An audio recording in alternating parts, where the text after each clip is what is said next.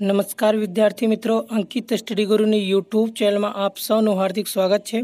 ગઈકાલે અખિલ ભારતીય વિદ્યાર્થી પરિષદ દ્વારા વીર નર્મદ સાઉથ ગુજરાત યુનિવર્સિટીમાં ઉગ્ર આંદોલન કરવામાં આવેલું હતું જેના લીધે યુનિવર્સિટી દ્વારા એવો નિર્ણય લેવામાં આવેલ છે કે